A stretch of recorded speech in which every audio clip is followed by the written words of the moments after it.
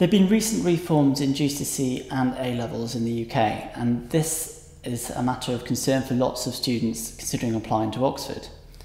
Now, the main thing to remember is our consideration of GCSEs is not going to change.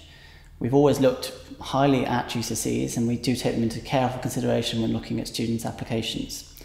From our point of view, what we're looking for is a strong performance across the board um, but particularly sort of getting the high numbers in the new GCSE system. So that's nines, eights, and sevens uh, across GCSEs from a range of subjects that are going to help in your later application.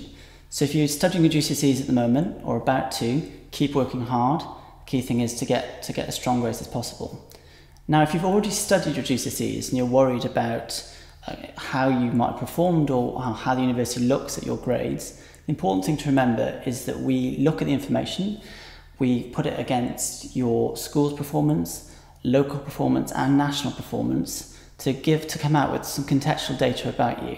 So that means that we don't like to say a candidate from Oxford should have this amount of GCSEs or, or to this standard because different people's GCSE grades are going to differ massively across the board. When it comes to A levels, you might be concerned about the reform that means that changes from splitting at AS at the end of the first year and coming out with a set of grades through to the second year and coming out with another set of grades is going to affect your application.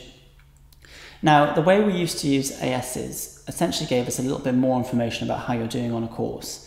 Teachers' predictions in this way were, were very crucial in the way that we look at um, how a candidate is predicted to perform at A level. But the lack of the AS grades doesn't really change how we as a university admit students. So please don't worry if suddenly your course has, has lost its AS um, aspect.